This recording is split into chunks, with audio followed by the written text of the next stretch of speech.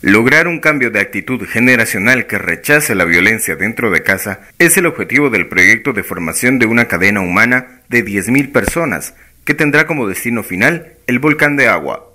Esta actividad, que se realizará el sábado 21 de enero, es parte de la campaña Rompe el ciclo de la violencia, la cual es apoyada por Julie Chappell, embajadora británica en el país. Tenemos muchos mensajes de la campaña. Uno es enseñamos no violencia, como los niños repiten tu ejemplo. Otro es la violencia um, intrafamiliar, es común pero no es normal. Pero otro mensaje es que hay que no solamente platicar, hay que actuar. Y para nosotros, porque no es un evento normal, no es... Hay, hay muchos eventos grandes en, en, Guatemala que son muy bien hechos, como las carreras estuve en San Silvestre, esas 10 mil personas, conciertos de paz. La diferencia con esto es, es un desafío logístico enorme. 10.000 personas en un sitio en la ciudad es complicado, pero es una cosa. 10.000 personas en un vocal, los logísticos son enormes, pues si todos esperan hasta el último momento, no va a funcionar. Y básicamente lo, tenemos algunos puntos de entrega de kit, pero queremos que la gente se involucre ahora.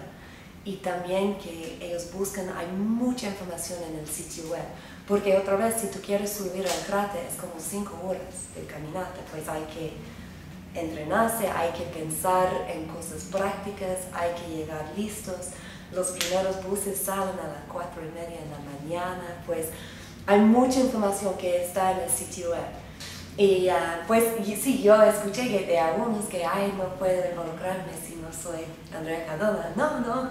O Jaime Viñales, no, no, porfa. Uh, necesitamos a, todos. La otra cosa que escuché algunas veces es que no puedo involucrarme si no estoy de la capital o antigua. No, no, no. Um, todos están súper bienvenidos. Los primeros buses salen a las cuatro y media de la mañana y el primer, el primer grupo, grupo 1, comienza a las 5 y media.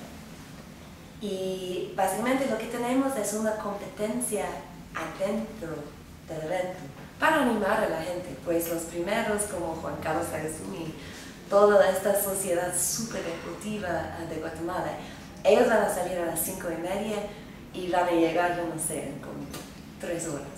El primer imagen que vamos a fumar es el logo de 2012 Despertemos, con quienes estamos trabajando de la mano.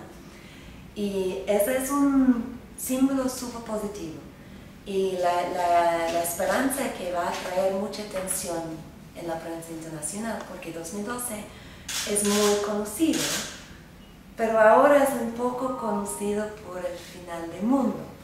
Y lo que queremos promover es que es conocido más como un país positivo, fresco, diferente, con una gente diferente, positiva, con un paisaje increíble, con este volcán y todos los volcanes.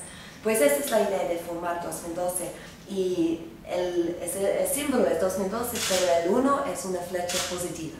Y pues esta es la imagen que queremos salir del país.